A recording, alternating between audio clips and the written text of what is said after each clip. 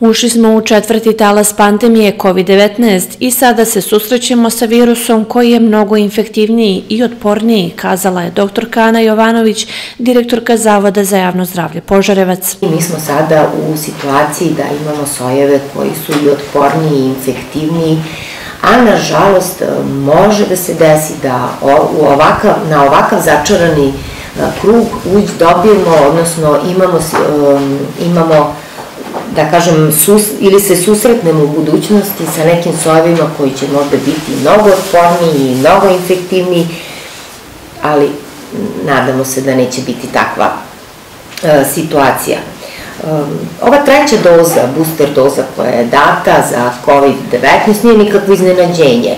Prema sadašnjim saznanjima možda i četvrta i peta doza e, može da dođe da se daje u smislu zato što je aktivnost epidemije takva da će možda biti i to potrebno.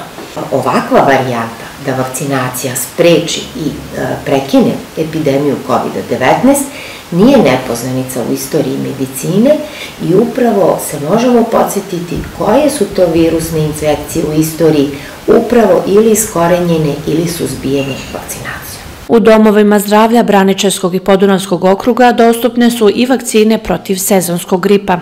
Inače, vakcina protiv gripa je e, sezonska, preporučena vakcina, daje se svake godine i upravo dugogodišnjim davanjem je utvrđeno da je najbolje da u okviru e, ove vakcine nalazi se i A i B virus gripa.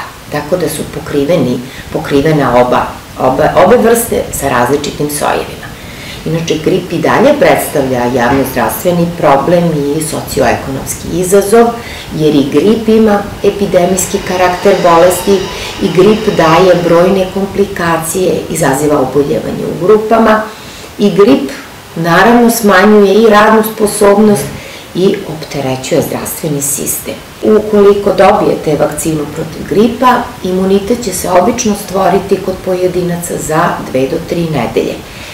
Postvakcinalni imunitet traje između 6 i 12 meseci, ali ono što proizilazi upravo iz ovoga da postoji potreba, pošto znači antitela propadaju, vakcinacija se prima sezonski svake godine, interesovanje građana u oba naša okruga je veliko i mi smo dopremili znači velike količine i u Graničevski i Podunavski okrug.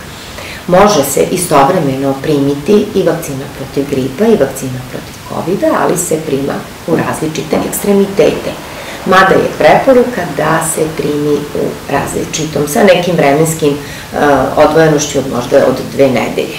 Kako kod covid tako i kod gripa podjednako postoji mogućnost razboljevanja, ali kako Jovanović kaže, takvi pacijenti prolaze sa blažim komplikacijama.